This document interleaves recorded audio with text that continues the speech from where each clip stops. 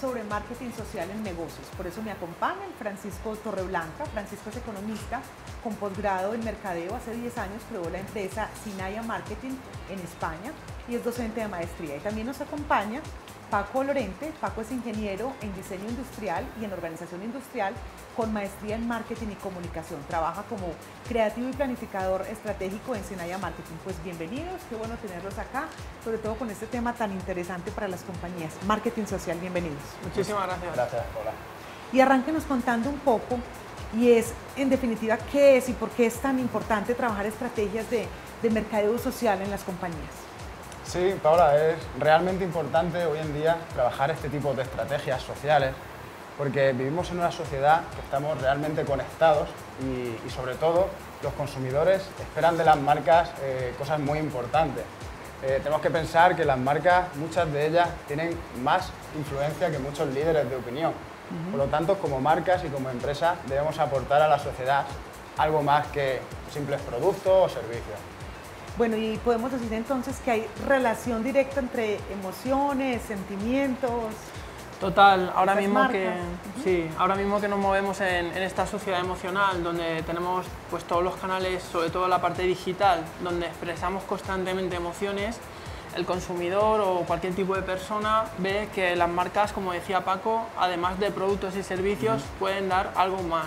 Y ese algo más también relacionado con la parte emocional hay muchos casos de, personas o de grupos de personas que necesitan cierta ayuda o cierto acceso a algunos motivos específicos y entre otros motivos buscan a las marcas para, que, para encontrar esa ayuda. Ahí está esa primera premisa que ustedes nos comparten hoy, es las marcas necesitan contacto real con la sociedad, ¿no? Exactamente. Eh, hoy en día no nos, vale, no nos vale acciones de responsabilidad social corporativa como hasta estos años nos hemos venido acostumbrados a ver y a percibir en el mercado sino que las marcas realmente se tienen que involucrar en, los problemas reales que tenemos como sociedad, como consumidores, estar al lado de nosotros. Y nosotros como consumidores estamos al lado de las marcas, también queremos lo mismo de ellas. Ahí estamos viendo uno de esos casos reales de compañías que se comprometen con su entorno. ¿En qué consiste? Exacto.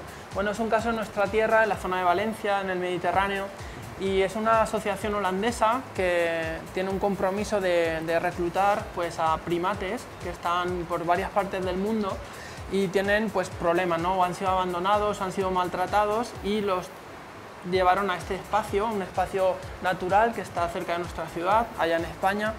Les dan un, lugar donde socializarse, donde tener una vida digna en, en el resto de vida que les quedan a estos animales y a cambio de, estar en ese lugar y por supuesto pues la generación de empleo para, la zona, eh, hay un compromiso social real que es reforestar eh, con arbolado pues toda esta zona que es una, gran extensión de hectáreas y ese es un compromiso que la sociedad percibe, es decir, no es una promesa que queda en el aire, sino que es una promesa que se cumple y que va a ser palpable en breve. Eso que mencionan es muy importante porque en definitiva cuando hablamos de, marketing social las marcas están expuestas y de, ahí la coherencia que se haga realmente en las acciones, que sí sean reales, ¿no? Realmente es así, sí. Eh, muchas veces como consumidores no percibimos estas acciones o decir, bueno, ¿se ha conseguido el objetivo? ¿Realmente esta ayuda se ha llevado a cabo? ¿Qué ha pasado con ello? Por lo tanto, también es donde nosotros trabajamos y nos especializamos un poco en este sentido, en decir, bueno, las acciones sociales y el mercadeo social que nosotros hagamos o que hagamos con nuestras empresas, que tengan un objetivo claro y después que tenga esa repercusión que nosotros buscamos. Es el reto que hoy tenemos. Ese es el caso de Cultivando Sonrisas, se llama.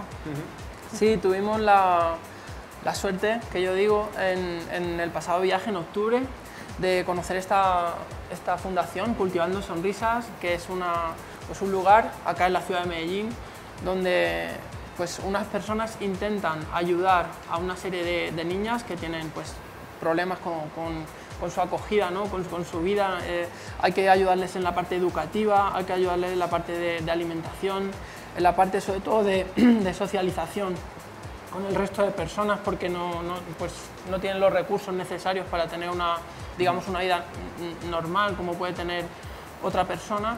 Esa es una fundación existente y ustedes comienzan a acompañarla. ¿Cuál es ese acompañamiento o en qué comienzan a aportarles? Pues eh, llevamos muy poquito tiempo trabajando con ellos, pero lo primero que hemos hecho ha sido llevar este caso a la Universidad Politécnica de Valencia, al, máster donde somos profesores, tanto Francisco como yo, eh, allí en Mercadeo, y le propusimos el reto a, nuestros chicos y nuestras chicas de allí en clase.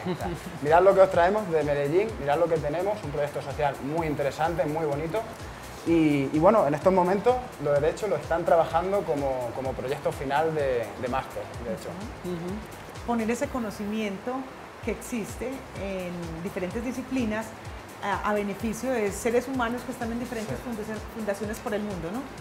Sí, en, otro caso también para, otra fundación como Funati, que también está en la ciudad, pues lo que hicimos fue contactar con una empresa española de calzado infantil, eh, cuya marca es Eli, le propusimos que pudiera dotarnos de una cantidad de, zapatos, de zapatos para los niños que, que pudieran eh, dotarle en, ese momento al grupo pues, de una satisfacción.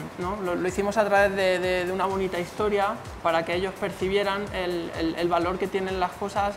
Eh, comprobamos el grandísimo agradecimiento de este, de este núcleo de personas y vemos que en este sentido el mercado social está absolutamente todo por hacer. Eh, se pueden proponer diversas acciones, diversas estrategias, siempre para que una marca pueda conseguir un fin real y que, como decía antes, no se quede en una promesa.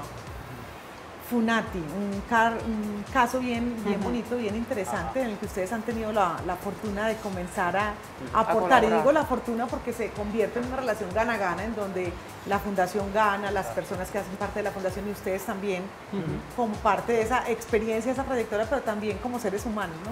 Exacto, al final, como, como siempre decimos, nosotros trabajamos mucho también las emociones, los sentimientos, nos gusta trabajar mucho con ello, con nuestras marcas, y en este sentido del, eh, del mercadeo social o marketing social es realmente importante.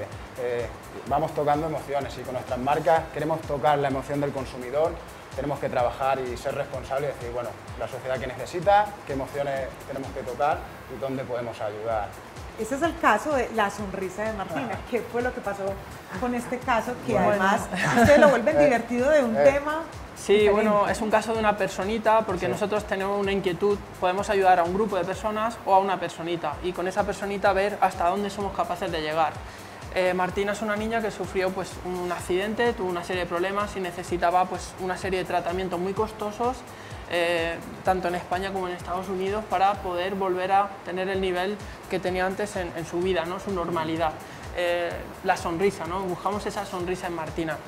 Para llamar la atención de la gente lo que hicimos fue invertir el proceso de, en lugar de ser un caso que mostraba tristeza y quería pedir plata directamente para, apoyar a Martina, lo que hicimos fue invertir y hacer un caso donde arrancáramos muchas sonrisas, fuera divertido y a partir de ahí la gente nos pudiera ayudar. Y Paco se prestó, ¿no? Sí. No, me lo pensé, Paula, ni un minuto. ¿Qué es lo que hace Paco en ese proceso específicamente? Bueno, pues... Muchas cosas. Partiendo de lo que decía Fran, trabajamos mucho la creatividad y pensamos, qué mejor manera que devolver a Martina su sonrisa o de intentar hacerlo que sacando sonrisas. Y bueno, y allá, entre todo el equipo de la agencia de marketing, pues dijimos, oye, ¿por qué Paco, Paco que no tiene novia, que, que tiene que sentar un poco la cabeza, mira, vamos a subastarlo, vamos a hacer una subasta y vamos a recaudar dinero de esa manera, vamos a hacer algo divertido, porque, bueno, como verás, Paula, tampoco soy nada del otro mundo y, bueno, Entonces creamos un, evento en Facebook donde invitamos a todos nuestros amigos a participar. Una puja, ¿no? Una puja, una puja, realmente, una puja. Eh, abiertamente, en un evento, en un canal como Facebook. Eh, hicimos una serie de fotografías, eh, una serie de vídeos, también todo con nuestros propios recursos, e invitábamos a la gente a participar. La gente participaba con un comentario en ese evento, decía, bueno, yo pujo por Paco 50 euros, 55 euros. La gente iba participando fue realmente bonito porque se extendió muy rápido todo el mensaje. Salimos en medios de comunicación, en prensa, fue realmente divertido y, queríamos llegar con ese mensaje. Y en definitiva eh, eh, hay un mensaje y es que definitivamente la creatividad es determinante en ese mercadeo social. Sí, sin, un método creativo, como vimos en el anterior programa que, mm. tuvimos la suerte de grabar con, vosotros aquí en, Negocios en TM, pues la creatividad es fundamental. Eh, no era un caso para tratarlo de forma convencional y aplicamos pues, métodos creativos para invertir ese, ese lenguaje triste por uno divertido y gracias a eso pues, conseguimos la idea de subastar por, a este a este señor. Y conseguir la meta de Y conseguir la meta de, buscar esa sonrisa tan, tan bonita de Martina. Francisco Torreblanca y Paco Lorente aquí en Negocios, muchas gracias por compartir con nosotros. Muchísimas gracias, a Paula. Este es Negocios con Paola Rueda.